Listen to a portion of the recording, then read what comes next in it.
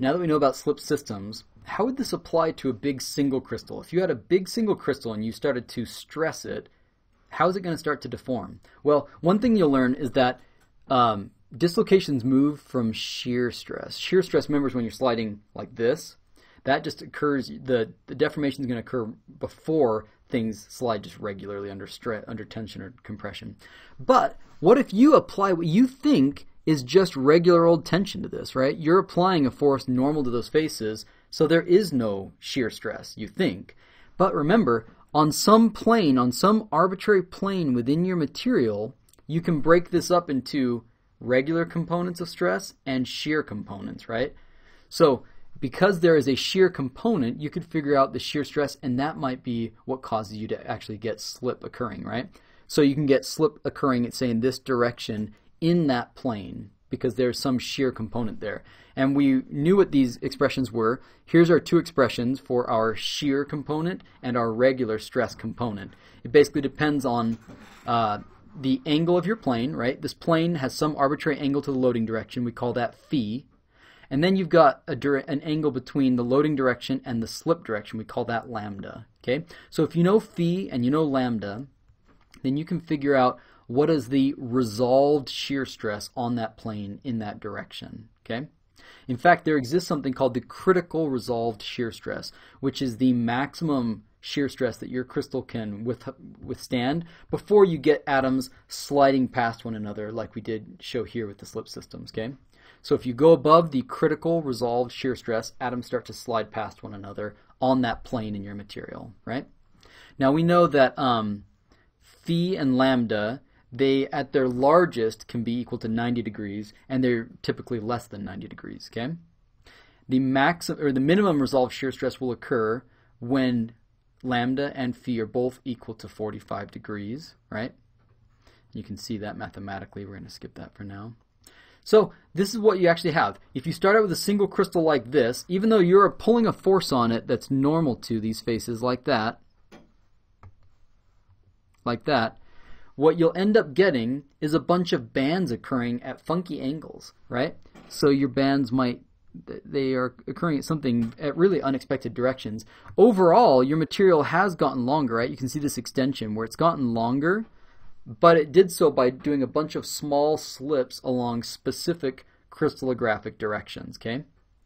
So, this is interesting. To do this, we need to figure to do these sort of calculations, we're going to need to figure out what is phi and what is lambda. How do we calculate those based off of the directions in the crystal? Well, fortunately, in trigonometry you learned how to do this. If you've got two vectors, vector A and vector B, we can figure out the angle between them using the dot product. We know that A dot B divided by the length of vector A multiplied by the length of vector B is equal to the cosine of the angle between those two vectors, right?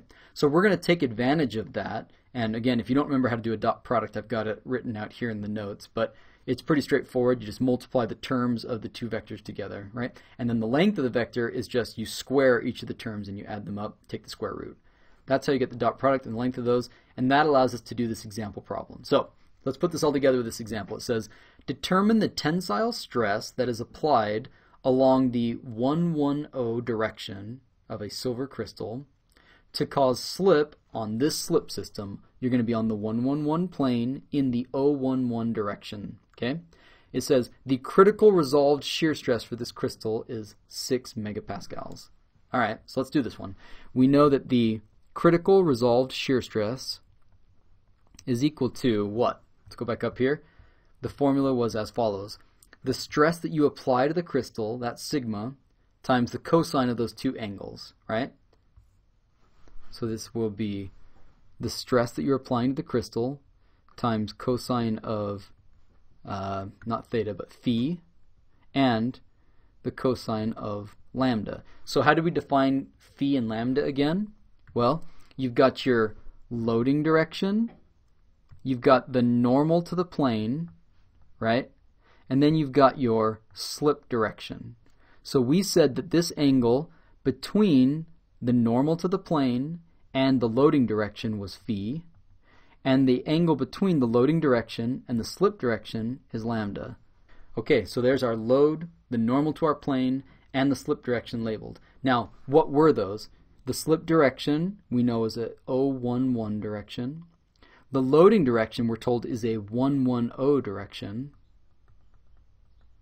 And the plane is a 111 plane. In a cubic system, and this is important, only in cubic systems the direction normal to that plane is the same as the plane. So we're going to use square brackets because it is now a direction. If the plane was round brackets 111, then the direction normal to it is also 111. That only works for the cubic system. In other systems, you have to do some nasty um, vector algebra, but it's not too bad. Okay? All right, so now we're ready to go ahead and do this. So let's figure out the dot product between those. We want cosine phi. So cosine of phi is going to be, again, the dot product between 110 and 111. So let's dot those together. So the dot product will be equal to 1 times 1 plus 1 times 1 plus 1 times 0. Okay? Now we need to take the length of those. That's going to be the length. We're going to take the square root of 1 squared plus 1 squared plus 1 squared.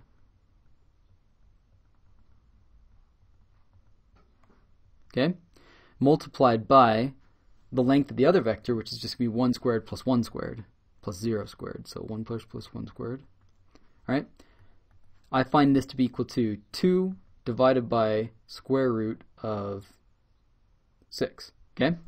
Now let's do the same thing for lambda. We need to figure out the cosine of lambda the cosine of lambda. By the way, you notice we don't actually have to solve for lambda and theta because the equation asks for cosine of theta and cosine of, of lambda. So you don't actually have to solve for the the actual angle in degrees. You don't need it. You just need the cosine of the angle in degree, which is what we've got right here. For lambda, the dot product is now going to be 1 times 0 plus 1 times 1 plus 0 times 1. 1 times 0 plus 1 times 1 plus 0 times 1. And then the length of those vectors, they're both 1 squared plus 1 squared. So I get that that's 1 over root 4. Okay? So let's go ahead and uh, finally solve for this. If the critical resolved shear stress, 6 megapascals, we want to solve for the stress that will cause this thing to start slipping. It's going to be sigma multiplied by 2 over root 6 multiplied by 1 over root 4. Taking those to the other side, dividing both sides by these two terms, I find that the stress necessary to get this to start slipping is going to be 14.7 megapascals. So that's an example of how you can use uh, slip in single crystals to figure out uh, the stress that will cause these things to start forming these bands in a single crystalline material.